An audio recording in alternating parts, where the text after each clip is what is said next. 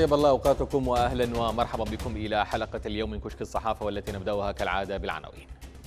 طبيبة إيرلندية عملت في تعز تقول في اليمن يفارق الناس الحياة قبل أن يصلوا إلى المستشفى. ومن العرب الجديد اليمنيون مجددا إلى جنيف في السادس من سبتمبر المقبل. ومن بي بي سي زوجة الرئيس الأمريكي تقف إلى جانب رياضي هاجمه زوجها.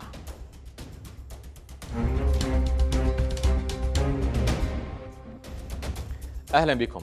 تتحدث صحيفة الأيام الصادرة في العاصمة المؤقتة عدن عن النازحين الموجودين في أبين والذين يفتقرون لكل الاحتياجات وعنونت الصحيفة. نازحو الحديدة وتعز في أبين المعاناة مستمرة. وقالت الصحيفة إن ما يزيد عن 1250 نازحا من محافظتي الحديدة وتعز يعيشون أوضاعا مأساوية في مناطق النزوح بمحافظة أبين نتيجة لافتقارهم لأبسط مقومات الحياة. وتضيف الأيام حط هؤلاء المشردون رحالهم بمدينة زنجبار جراء الحرب التي شنتها جماعة الحوثي على مناطقهم ليتخذوا من ظل الأشجار مساكنا لهم في غياب تام للسلطات المحلية بالمحافظة والمنظمات الدولية الداعمة. يعيش منذ فترة ليست بالقليلة في أو يعيشون في منذ فترة ليست بالقليلة في حياة أشبه ما تكون بحياة القرون الوسطى. مساكن من عشش وغياب لخدمات المياه والكهرباء والصرف الصحي وهو ما يجعلهم يعيشون في وضع صحي خطير جدا. سعيد علي نازح من مديرية الكدحة منذ سنة قال المؤسف هنا بأن السلطة المحلية في أبين تطالبنا بترك هذه المنطقة كونها منطقة أثرية ونحن مستعدون لمغادرتها ولكن عليها أن توفر لنا مخيما آمنا تتوفر فيه الخدمات. من رمال الحديدة إلى طور جنيف سفر جريفيث وكرسي الشرعية تحت هذا العنوان كتب أحمد عبد الله مقاله المنشور في التغيير نت. الأمم المتحدة لم تفك أزمة في تاريخ الشرق الأوسط وأقصى ما حققته تجربتها في اليمن هو أن الجولات التشاورية استقرت في الموسوعة الحرة ويكيبيديا حتى أن أحدا لم يعد يحمل ذرة أمل في أن يحقق جريفيث شيء أن يجمع المتحاورين ليمروا من أمامهم شريط الذكريات الذي يحمل الجلسات الجنيفية السابقة وماراثون الكويت التي تحملت أطول استضافة تشاورية تفاوضية في التاريخ العربي. وسخرت لها القصور والفنادق والمواكب الأميرية الراقية. لتتفاجأ بعدئذ بأن المقاتلين يتدافعون إلى خطوط النار بحماس أكبر من ذي قبل. سفر جريفيث في أيلول القادم إلى جنيف ليس أمرا غير تقليدي وما سيقوله لن يميزه عن سابقيه وإن كان هناك جديد هذه المرة فإنه يتركز في التأكيد على أن أهل اليمن يتحركون فوق محيط دائرة شيطانية.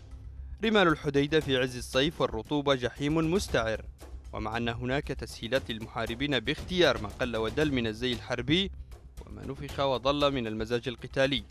إلا أن سكان المدن من الفقراء لم يتبقى لهم أي حق في اختيار طريقة الموت. فهناك سبل ملزمة للهلاك وأسهلها هي أن يقف النبض فجأة من الخوف. وبالتأكيد إن جنيف المحاطة بجبال الألب الخضراء أجمل فراديس الأرض. ستكون بانتظار أن يرتاد فنادقها المريدون بعد أن تعد لهم سكتشات تبين الصالات والمطاعم وغرف النوم وقليلا من عناوين الكلام الرسمي في ساحة الوغى التشاورية. كانوا هناك قبل ثلاثة أعوام وعادوا إليها بعد أن قتل المزيد من الآلاف ودمرت المزيد من المدن وتكدست المزيد من أموال الحرب بأيدي تجار الموت. انتفخت الأدمغة بلهجات العفن السياسي وتراجع اليمن ألف عام نحو التعقيدات الكبرى. قالت صحيفة واشنطن بوست إن الحرب المدمرة في اليمن لا توجد لها نهاية في الأفق أو للمعارك الغارقة في الدم أو الغارات الجوية أو الجوع والمرض اللذان يطاردان المدنيين حتى لو هربوا من الرصاص والقنابل. وأشارت الصحيفة في تقرير لها ترجمه الموقع بوست إلى أن الحرب القاتلة في اليمن محتدمة و تساءلت في الوقت نفسه لماذا لا تزال أعداد القتلى مرتفعة. وحسب التقرير فإن عدد القتلى لا يزال مرتفعا فعلى مدى عامين استشهد صحفيون وعمال وعمال وكالات إغاثية وتوفي أيضا عشرة آلاف شخص من المدنيين في هذا النزاع. وقد تم ذكر العديد لأول وقد تم ذكر العدد لأول مرة من قبل مسؤول كبير في الأمم المتحدة في أغسطس عام 2016 لكن في النقاش العام حول النزاع حسب الصحيفة لم يتم مراجعة العدد حتى مع استمرار الحرب بكثافة لا تعرف الرحمة وقالت من شبه المؤكد أنه تم التقليل من شأنها بشكل فادح. وفقا لمسؤول الأمم المتحدة والمحللين الذين يدرسون الصراع مع تقدير مصدر واحد مستقل يوضح أن إجمالي عدد اليمنيين الذين قتلوا في الصراع بلغ قرابة خمسين ألف. وتابعت الواشنطن بوست في اليمن أدى انخفاض عدد القتلى المعلن إلى تعزيز الشعور بأن البلد يتجاهله العالم الأوسع. ونادرا ما يتم تغطيته في وسائل الإعلام بسبب القيود والصعوبات التي توجد هناك. ولكن أيضا بسبب التحفظ على المجموعة المركبة من الممثلين والأطراف المظلومة في الصراع الموجود في أفقر بلد في العالم العربي.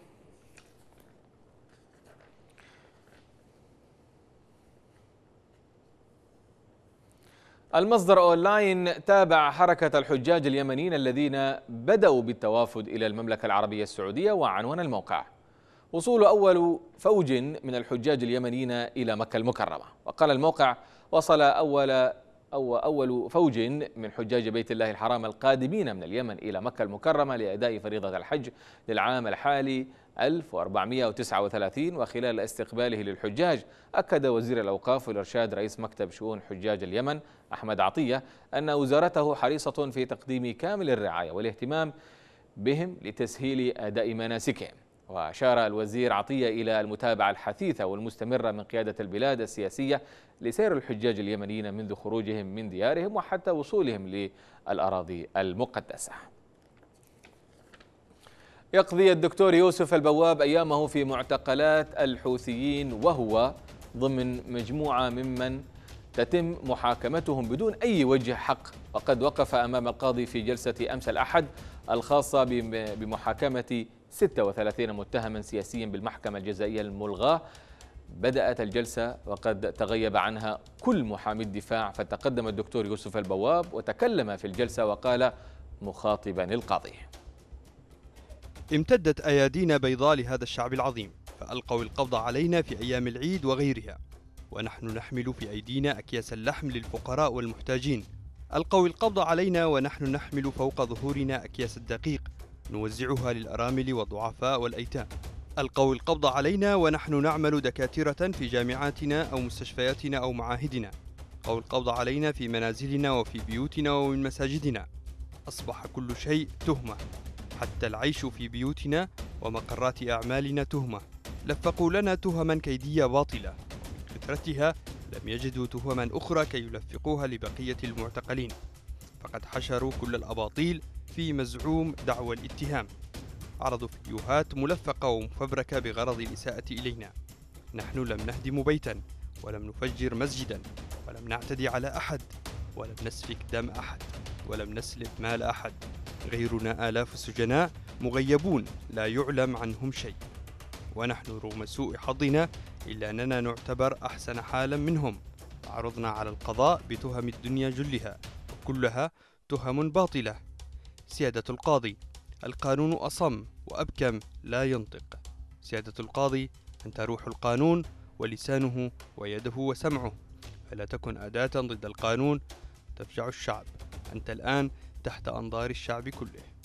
سيسجل التاريخ أعمالك ومواقفك. فدع التاريخ يسجلك في أنصع صفحاته نعلم الكم الهائل من الضغوط التي تتعرض لها. فلا تستجيب لتلك الضغوط.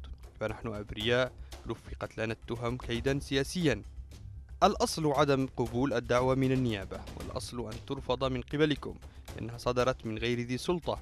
ليس لها سلطة شرعية أو قانونية. ولم تأتي عبر الانتخابات أو سلطة شرعية. نعتذر عن أي لفظ ناب صدر عنا دون قصد. إلى أبرز العناوين التي احتلت الصفحة الأولى من صحيفة أخبار اليوم الصادرة في مارب حيث عنونت الصحيفة. اقتصاديون إغلاق محلات الصرافة ليس حلا والوديعة السعودية لم يكن لها تأثير يذكر.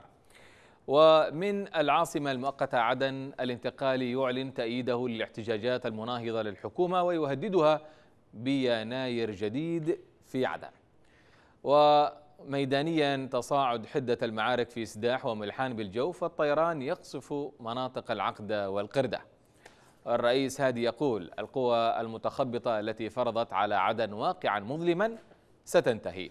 وعنوان أيضا تقرير أمريكي يطالب باستهداف قدرات الحوثيين بطائرات أمريكية على ساحل البحر الأحمر.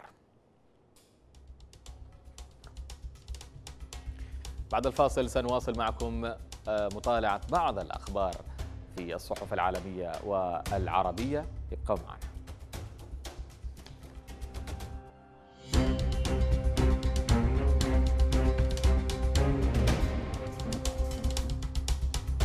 مستمرون معكم في كشك الصحافة لمطالعة أبرز ما قالته الصحف العربية والعالمية في الشأن اليمني وبالإضافة إلى بعض الأخبار المتنوعة. وهنا نبدأ من تساءلت صحيفة العرب الجديد هل ينجح المبعوث الأممي إلى اليمن بما فشل به؟ سابقوه. وأضافت بعد شهر من اليوم من المقرر أن تجلس الأطراف اليمنية على طاولة مفاوضات جديدة للدفع بالحل السلمي. وفقا للموعد الذي قاله أو أعلنه مارتن جريفيث فستكون المفاوضات في السادس من سبتمبر المقبل بمدينة جنيف السويسرية. وهذه هي المرة الأولى التي يعلن فيها المبعوث الأممي عن موعد مفترض للعودة إلى المشاورات منذ أكثر من عامين إلى جانب كشفه عن ملامح خطته التفاوضية. غير أنه وكما هو حال الجهود السياسية في البلاد منذ تصاعد الحرب لا يزال يواجه الكثير من المعوقات التي ستنبئ أو ستبنى عليها إمكانية الالتزام بالموعد ونجاح الجولة من عدمها ما يعيد الأنظار إلى جولات المشاورات السابقة. وتكشف مصادر يمنية قريبة من مكتب المبعوث الأممي للعرب الجديد عن أن اختيار جنيف كمقر لانعقاد المشاورات جاء بعد آه، التشاور مع كل من الحكومة اليمنية وجماعة الحوثي على ضوء رفض الكويت التي كانت على رأس الخيارات استضافة جولة ثانية قبل وصول الأطراف المعنية إلى اتفاق. قبل عقود من الآن تداول أطباء أجانب عملوا في اليمن رسائل شرحوا فيها حالة المرضى اليمنيين وكيف يموتون في الطرقات وقد كانت الطبيبة الفرنسية كلودي فايان أشهرهم. اليوم وكأن شيئا لم يتغير. فقد كتبت طبيبة إيرلندية عملت في تعز ما يشبه تلك الرسائل. وقالت نيام أوبراين في مقال نشره موقع بريكن نيوز الإيرلندي عدت إلى وطني بعد أن أمضيت ثلاثة أشهر ونصف في اليمن للعمل كطبيبة بالقرب من مدينة تعز على بعد خمسة كيلومترات فقط من الخطوط الأمامية. وتضيف في فترة وجيزة من عمري هناك استطعت أن أرى عواقب العنف في كل مكان لا سيما في المرضى وفي الحياة اليومية لزملاء اليمنيين. يمكنك رؤية آثار الصراع في المرضى الذين يصلون إلى المستشفى. نظرا للحصار. يعد ثمن الوقود باهظا جدا. لذا لا يستطيع الكثير من الناس السفر بينما يتعين على الآخرين الانتظار حتى يخمد القتال قبل أن يتمكنوا من الوصول إلى المستشفى بأمان. وتفيض أيضا وصل الكثير من الناس إلى مستشفانا وقد فارقوا الحياة. وأوضحت أن موت الأطفال والأمهات بشكل مثير للصدمة فالمسافات الكبيرة للسفر والقتال كلها عوامل تجعل من الصعب الوصول إلى الرعاية الصحية. وتقول أوبراين دم الناس غير قادر على التجلط ولهذا ينزفون بكميات هائلة كما أنهم يعانون من عدوى متكررة. يحتاج الناس إلى عمليات نقل دم متكررة وحتى مع العلاج فإن المرض يقتل 50% من المصابين به يحب السياسيون لدينا أن يقولوا في الخطابات أشياء من قبيل لدينا مجتمع فتي غني بالإمكانيات والطاقات. لكن هذه المقولات تبقى خطابا مجردا بلا قيمة عملية. ما دامت المجتمعات صاحبة الإمكانيات والطاقات نظريا تبدو بلا إمكانية ولا طاقة واقعيا.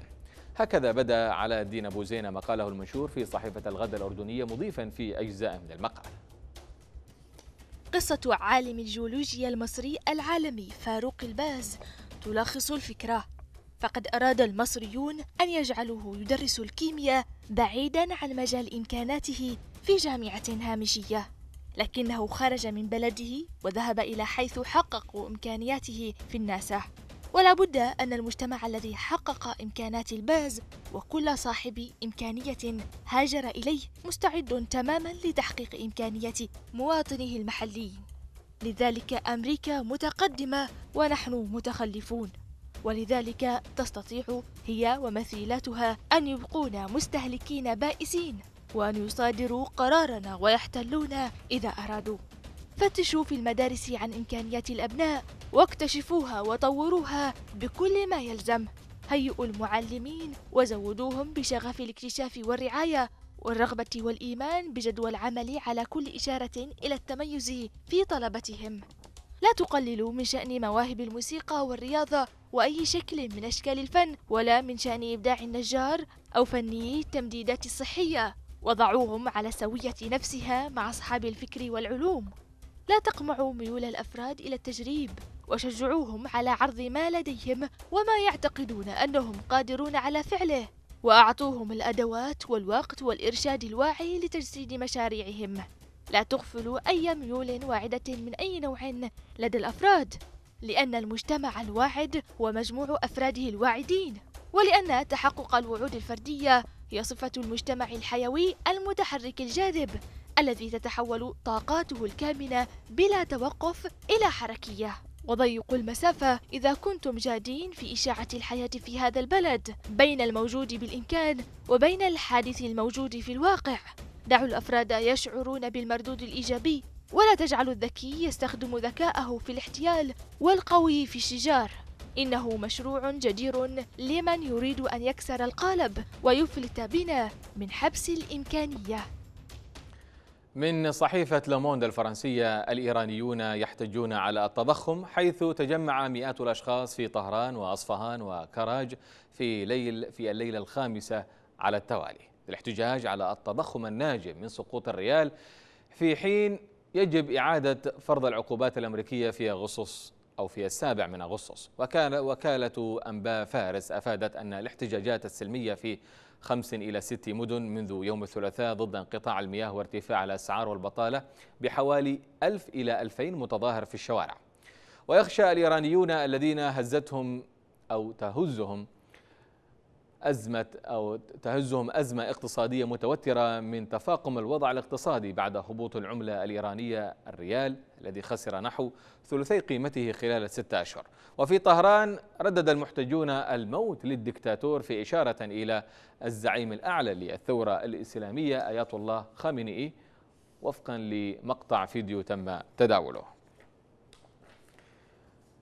أعربت سيدة الولايات المتحدة الأولى ميلانيا ترامب كما أورد موقع شبكة البي بي سي عن تأييدها للاعب كرة السلة الأمريكي ليبرون جيمس بعد ساعات من إدلاء زوجها بتعليقات مهينة عن اللاعب عبر حسابه بموقع تويتر. وفي وقت سابق قال جيمس في مقابلة إن ترامب مثير للانقسام وأنه شجع العنصريين. وردا على هذا شكك ترامب في مستوى ذكاء جيمس قائلا إنه لم يكن من السهل جعل لاعب دوري المحترفين يبدو ذكيا. في الأسبوع الماضي قال جيمس في مقابلة مع شبكة سي إن إن أن الرياضة منحته الفرصة للقاء شخصيات مختلفة في التوجه والعرق ولم تكن قط أداة لتقسيم الناس كانت دائما أداة لتوحيد الناس. ومضى قائلا هو ترامب. يقسمنا وما لاحظته على مدار الأشهر القليلة الماضية هو أنه استخدم نوعا ما الرياضة لتقسيمنا وهذا أمر لا يمكنني تصوره لأنني أعلم أن الرياضة هي الفرصة الأولى التي منحتني الوجود بجوار شخص أبيض. ورد الرئيس الأمريكي أمس عبر حسابه بموقع تويتر قائلا قائلا ليبرون جيمس أجرى مقابلة مع أغبى شخص على الشاشة وهو المقدم دون ليمون وهو من جعل ليبرون جيمس يبدو ذكيا وهو أمر ليس بالسهل. وخلال المقابلة تكلم جيمس أيضا عن المدرسة الجديدة التي افتتحها للأطفال المحرومين من التعليم في مسقط رأسه بمدينة أكرون في ولاية أوهايو التي تقدم وجبات ودراجات هوائية مجانية.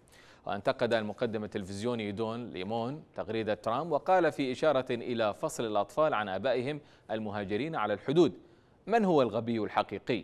شخص يضع الأطفال في فصول لتعليمهم أم شخص يضع الأطفال في الأقفاص؟ في جولتنا المصورة لهذا اليوم ومع صحيفة الديلي تليجراف صور من مختلف أنحاء العالم لمختلف المواقف نتابع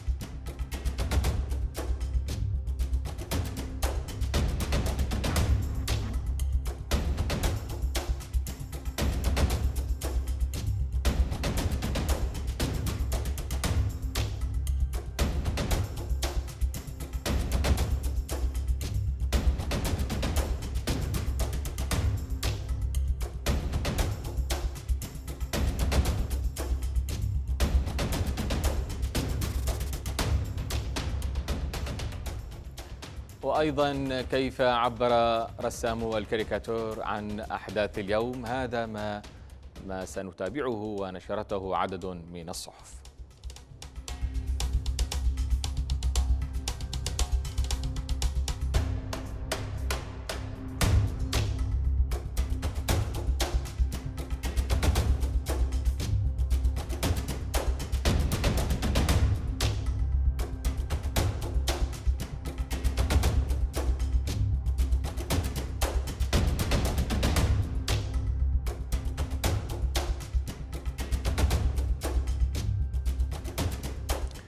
بهذه الصور الكاريكاتورية المعبرة نكون قد وصلنا إلى ختام حلقتنا لهذا اليوم من كشك الصحافة. نترككم في أمان الله.